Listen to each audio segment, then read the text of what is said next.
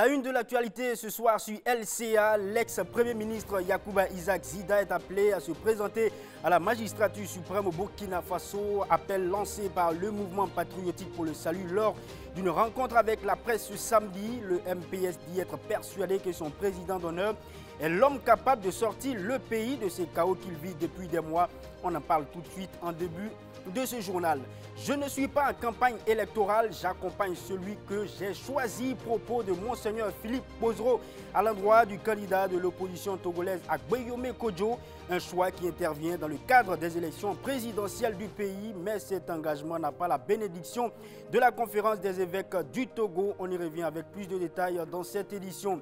Nous vous parlerons également d'un jeune prodige du rap burkinabé, Dynamis Corias. Il ne lâche pas prise sur sa plus grande passion qui est la musique.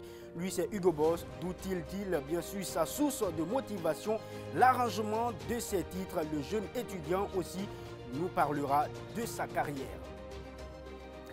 Bonsoir à tous et bienvenue sur la chaîne au cœur de l'Afrique. Le MPS est persuadé que son président d'honneur est l'homme capable de sortir le pays de ce chaos et de lui redonner son lustre d'antan. Donc, ce sont donc les mots du professeur Augustin Louada, président du parti Mouvement, euh, mouvement donc patriotique pour le salut. C'était au cours d'une conférence de presse tenue ce samedi même à Ouagadougou. Le MPS dit avoir constaté que Yacouba Zida remplissait bien les critères définis par le parti et qui en font le meilleur étendard. Les responsables du parti disent préparer déjà le retour au pays de l'ex-premier ministre en exil au Canada dans les mois à venir pour participer au congrès extraordinaire de ce parti, un congrès au cours duquel ils procéderont à son investiture formelle comme candidat. Mais déjà, ils souhaitent que le retour de Yacouba Isaac Zida se fasse dans les conditions dignes et respectables en raison de son statut d'ancien La campagne présidentielle au Togo bat son plein alors que les observateurs avertis, donc j'allais dire, s'attendaient le moins. L'ancien évêque de Lomé a décidé de choisir publiquement son candidat pour les élections à venir.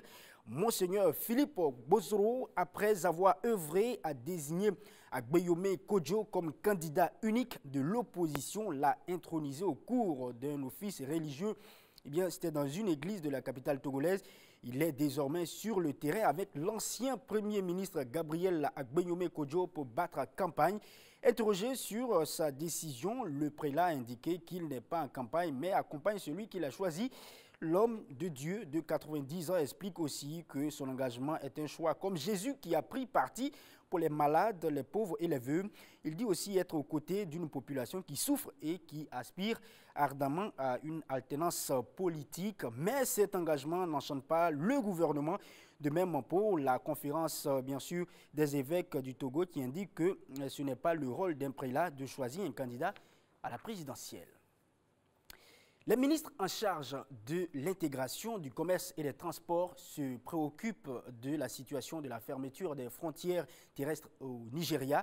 Ils veulent proposer des solutions réalistes et applicables à court terme pour éviter justement des répercussions plus accrues sur la libre circulation des personnes et des biens au sein de la communauté.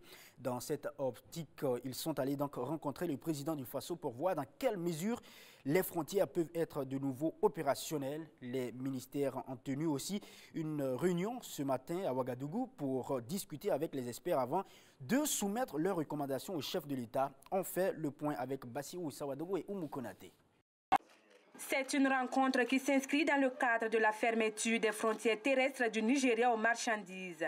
Cette rencontre des ministres de la CDAO en charge de l'intégration, du commerce et des transports devra aboutir à des recommandations de réouverture des frontières du Nigeria.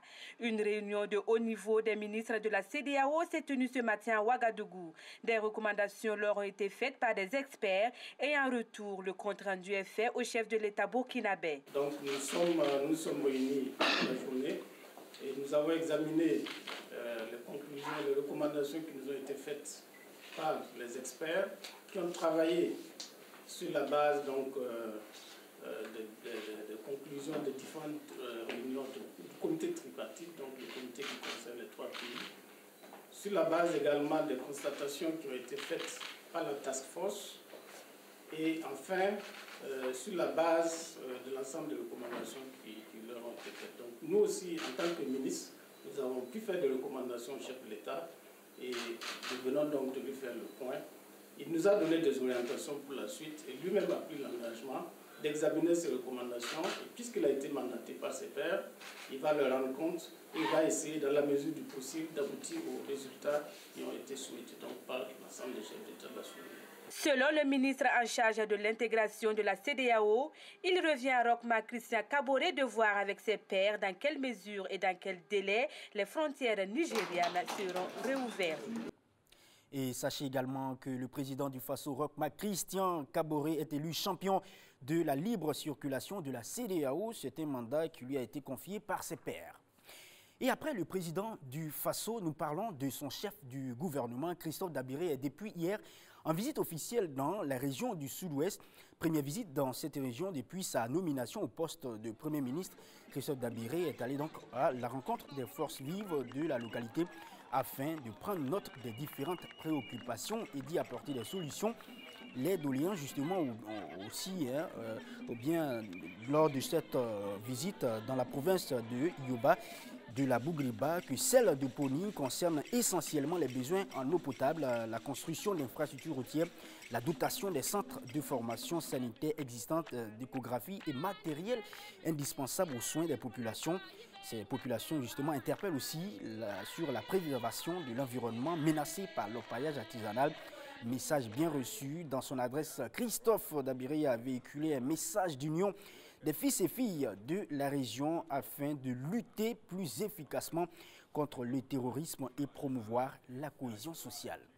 Et dans la suite de ce journal, les crevettes peuvent paraître aux yeux du commun des Burkinabés comme quelque chose d'exotique, mais Koubri, ce n'est plus un produit, en tout cas euh, étranger. Aujourd'hui, c'est un label local qui fait vivre de nombreux acteurs des fermes de culture de ces produits aquatiques à la place euh, du marché où des femmes commercialisent ces protéines très prisées, une filière très porteuse comme le constate Oumou Konate et Bassirou Sawadogo. Mesdames et messieurs, vous êtes euh, invités à déguster les crevettes d'eau douce euh, de Coupry que vous voyez tout juste euh, derrière moi. Nous sommes actuellement au marché de Coupry où les femmes commercialisent ces merveilles. C'est une activité qui leur permet de subvenir à leurs besoins et de prendre aussi soin de leur famille. Un commerce qui existe il y a maintenant plusieurs années de cela. Il y a près d'une trentaine d'années que nos mères commercialisent les crevettes. Avant, les gens ignoraient leur commercialisation et leur production. Mais depuis quelque temps, on a appris à les apprécier à leur juste valeur. Grise ou rose, la crevette est l'un des crustacés les plus consommés au Burkina Faso depuis quelques années. Lors d'une formation dont elle a bénéficié, Dame Nikema nous donne les vertus nutritives de la crevette. Et les fêtes de fin d'année qui s'approchent à grands pas, pas besoin de cubes magiques pour succuler vos plats. Les crevettes en feront bel et bien l'affaire. Les crevettes peuvent jouer le rôle d'assaisonnement. Elles ont de nombreuses vertus nutritionnelles. Elles contribuent à soigner beaucoup de pathologies telles que le cancer et autres maladies. Les vendeuses rencontrent plein de difficultés et lancent un SOS aux autorités burkinabées afin que la commercialisation des crevettes puisse aller de l'avant. On demande au gouvernement de goudronner ou de paver les lieux de vente pour éviter la poussière. En plus, nous n'avons pas de moyens de conservation.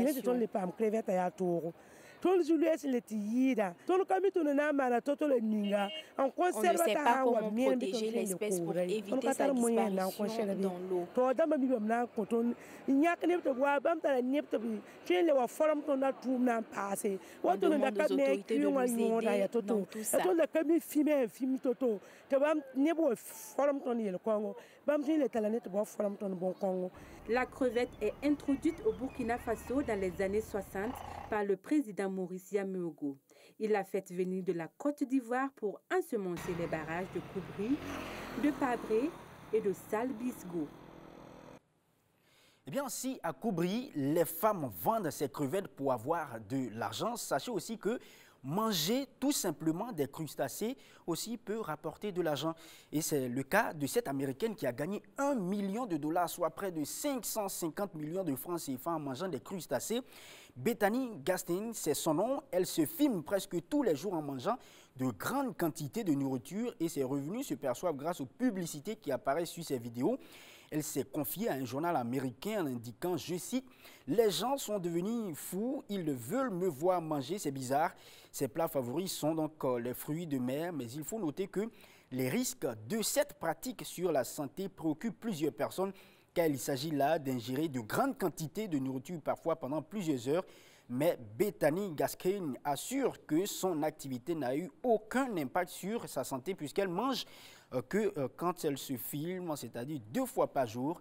Voilà donc euh, qui est dit, il y a plusieurs moyens de chercher de l'argent.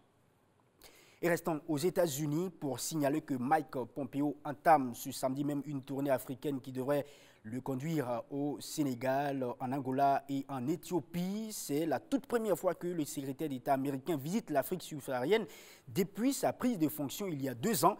Le business va occuper une grande place durant le séjour du chef de la diplomatie américaine qui encourage les sociétés américaines justement à investir en Afrique où prospèrent déjà Européens et Asiatiques.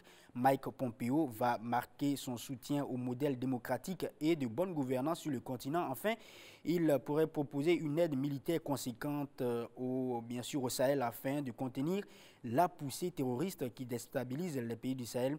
C'est un regain d'intérêt manifeste pour l'Afrique alors qu'il y a quelques mois, le pays euh, de l'oncle Sam semblait prendre une certaine distance vis-à-vis du vieux continent.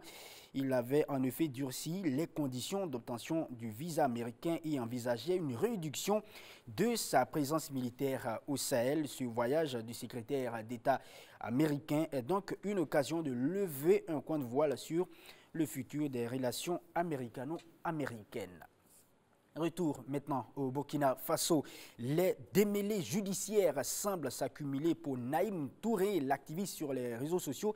Dans l'affaire dite de la députée Baraki Sawidraogo, trois cyberactivistes ont été donc condamnés et le verdict se présente comme suit. Naïm Touré condamné pour diffamation et injure publique écope d'une peine de prison ferme de six mois et un million d'amende. Même peine pour Aminata Racho, jugé pour diffamation. Laoseni Taha, quant à lui, s'en sort avec 500 euh, 000 francs CFA d'amende assorti d'un sursis. En outre, les mises en cause devront verser 1 million de francs CFA chacune, et bien sûr des plaignantes, à savoir Baraki Sawedrago et sa fille. Ce jugement fait suite à des posts sur les réseaux sociaux, des publications qui pointaient du doigt les agissements de Barakisa Ouedraogo et sa fille. Pour être plus complet sur ce sujet, notez que Barakisa Ouedraogo fut conseiller de l'épouse du président du Faso, Roch avant que sa position de suppléante ne lui ouvre les portes de l'Assemblée nationale. Et je vous l'annonçais en début de ce journal et bien sûr, on parle de culture dans le volet musical et nous vous emmenons dans l'univers de Hugo Boss. Il est l'une des valeurs sûres du rap burkinabé, en témoigne donc sa renommée qui dépasse euh, les frontières et les lauriers qu'il euh, glane au fil des compétitions nationales et internationales font de lui l'un des rappeurs les plus en vogue en ce moment. Eh bien, Hugo Boss, euh, le rap king 226, Mister Guichet Fermé, comme il aime se faire appeler, eh bien, nous sommes allés à la rencontre de ce jeune prodige burkinabé. L'artiste à cœur ouvert nous parle de sa carrière et de ses projets et c'est dans ce dossier que nous livrent Alain Koulibaly et Achille Ouedrago.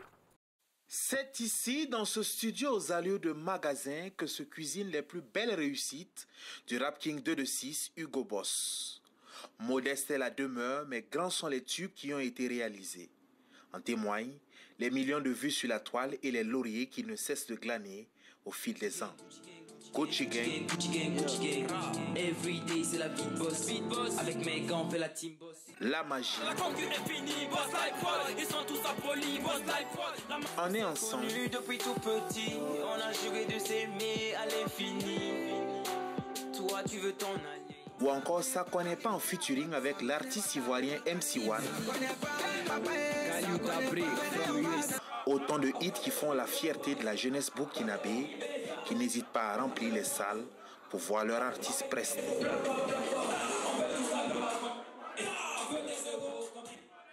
Ce qui me différencie des autres rappeurs, c'est que je vends du rêve. Voilà, Hugo Boss vend du rêve, c'est-à-dire quand on parle de Hugo Boss, on parle de Boss Life. Quand on parle de Boss Life, on parle d'un jeune qui se bat, qui est dans l'entrepreneuriat, qui cherche à avancer, qui cherche à évoluer sans dépendre de ses parents. Parce qu'à un certain âge, il faut se dire, bon voilà, j'ai grandi, il faut que moi aussi j'essaye d'assumer certaines charges à la maison, certaines charges sur moi-même et sur aussi son entourage. Donc je me dis, Boss Life, le premier hit qui m'a lancé, c'était tous les jours à l'hôtel. Nous, on vit la vie de boss dans les Porsche, d'oseille. Donc voilà, c'est un son vraiment, quand les jeunes écoutent, voilà, ils se sentent, c'est une autre vie. Ça, ça fait rêver, ça fait rêver en fait. Nous, on vit la vie de boss dans les Porsche, trop d'oseille. Nous, on vit la vie de boss, dans le parking. Nous, on vit la vie de boss. La vie de boss, l'artiste ne l'a pas toujours vécue. Le chemin a été long, les difficultés n'ont pas manqué.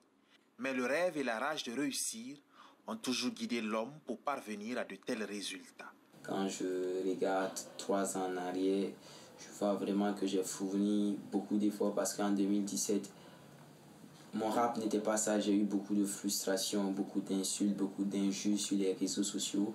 Mais j'ai pas baissé les bras, j'ai pris cela en compte et j'ai essayé d'améliorer mon rap, d'améliorer ma plume, d'améliorer ma vision même de la musique ici au Burkina Faso pour pouvoir vraiment lancer une nouvelle carrière de Hugo Boss. Il faut que les gens comprennent quand on parle de Hugo Boss, pour... il y a plusieurs personnes quand on dit Hugo Boss, ils voient ici un enfant de riche et tout ça, mais je tenais à depuis 4 ans, moi je dépends plus de mes parents. Voilà, donc euh, je suis pas un enfant de riche, je suis un enfant d'une famille très modeste. Voilà, qui se débrouille. Moi depuis 4 ans, tout ce que je fais c'est de ma poche.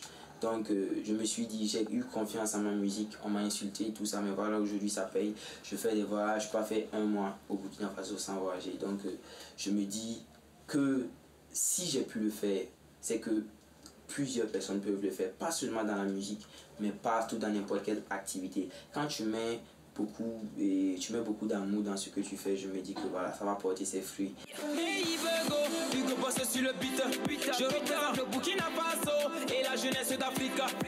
Sa collaboration avec le jeune rappeur ivoirien MC1 demeure le hit phare de l'artiste en ce moment. Une collaboration bien appréciée par les mélomanes d'ici et d'ailleurs, au regard du million de vues engrangées sur la toile. Bon, je suis vraiment très très content parce que je vois que le travail acharné que j'ai mené depuis des années en train de porter ses fruits. Je vois, je vois un peu partout sur la toile que le Boss a eu ses 1 million de vues, à cause de MC1. Mais ce que je tenais à dire, une petite parenthèse, il y a plusieurs artistes aussi ici au Burkina Faso qui ont faire des feats avec des artistes qui dépassent des grosses pointures que MC1 et qui n'ont jamais atteint 1 million de vues. Et MC1 aussi a eu à collaborer avec pas mal d'artistes qui n'ont jamais atteint 1 million de vues. Donc je me dis que faut que le Burkinabé aussi soit reconnaissant du travail que son frère Burkinabé exécute. Sa carrière, il la doit aussi à sa famille et à ses collaborateurs. Ces derniers ne cachent pas leur fierté vis-à-vis de l'artiste qu'ils ont vu grandir et réussir. Bon, avec Boss, bon, on voit que c'est une icône du rap Burkina Faso. Il représente beaucoup pour nous. Il fait beaucoup de choses pour le rap burkinabé. Il prend de l'ampleur. En tout cas, c'est un jeune en tout cas, il faut, qu'on le soutienne. Tranquille, il est léger. Il ne vient pas à n'importe quel moment. Il s'inspire bien avant de venir. Et quand il vient, c'est pour, pour du lourd. Pour de son qui, qui va cartonner, qui va voyager. Voilà, donc on le respecte, c'est un chef. Bon, c'est un garçon comme les autres à la maison. C'est vrai qu'il a son caractère à lui. Souvent, on ne se comprend pas. Bon, la plupart du temps, même, on ne s'entend pas. Mais bon, ça va. À la maison, en tout cas, c'est pas trop la star. Souvent, même dehors, je ne le connais pas. Parce que dehors, plus tout le monde le connaît. Mais bon, ici, comme c'est la famille. Au début, en tout cas, ça a été un peu compliqué. On était encore jeunes, il sortait, il rentrait tard à cause des sorties avec son groupe. Donc, au début, les parents n'acceptaient pas parce qu'il rentrait vraiment tard. Mais bon, il s'est imposé, il a forcé, forcé. Maintenant, on est fiers de lui ce petit succès que j'ai aujourd'hui, c'est par les bénédictions de mes parents parce que je vois vraiment qu'ils il prient beaucoup pour moi tous les jours. Ma famille aussi est là, donc ils m'encouragent beaucoup moralement. Voilà, donc euh, moi, ça, je ne peux jamais oublier ça. De la magie du rêve et du flow L'artiste en a à revendre. Et ce ne sont pas les projets qui manquent. Hugo Boss entend bien marquer la sphère musicale burkinabé de son empreinte, mieux, de l'exporter sur la scène internationale. Et voilà, c'était donc le dossier ce soir avec euh, Hugo Boss. Et c'est ici qu'on met un point final à ce journal. Merci à vous tous de nous avoir suivis. Les programmes se poursuivent sur votre chaîne. À demain pour d'autres informations.